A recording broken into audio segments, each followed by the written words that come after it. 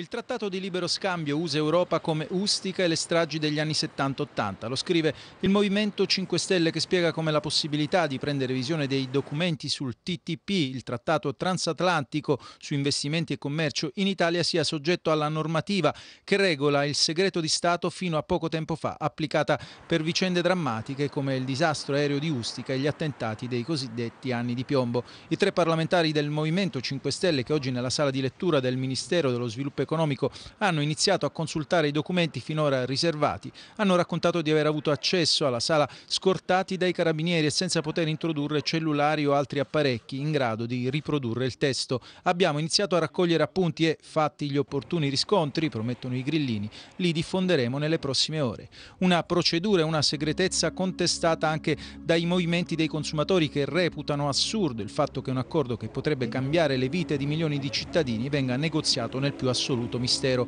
Negoziato che tra l'altro si trova adesso in una fase di stallo al punto che la Commissione europea nel vertice in programma a fine giugno chiederà ai leader dei 28 paesi dell'Unione la conferma del mandato a negoziare con gli Stati Uniti in materia di trattato di libero scambio. Di fatto i negoziatori di Bruxelles cercheranno l'appoggio del Consiglio e una conferma forte dal grande significato politico ad andare avanti. La Commissione, ha ribadito il suo portavoce, non accetterà mai di sacrificare i principi dell'Unione Europea sull'altare dell'accordo commerciale con gli Stati Uniti. Per il neo ministro dello sviluppo economico Carlo Calenda il negoziato potrebbe anche concludersi con un nulla di fatto perché se è vero che gli americani ed in particolare il presidente Obama spingono per chiudere l'accordo entro la fine del suo mandato, è anche vero che buona parte dell'opinione pubblica europea si mostra apertamente ostile perché anche se verrebbero aboliti dazi decisamente punitivi per le merci europee e quindi esportare sarebbe più facile e vantaggioso, è anche vero che resta altissimo il rischio di venire invasi da prodotti non controllati al contrario dei nostri e dunque di dubbia provenienza. opinions.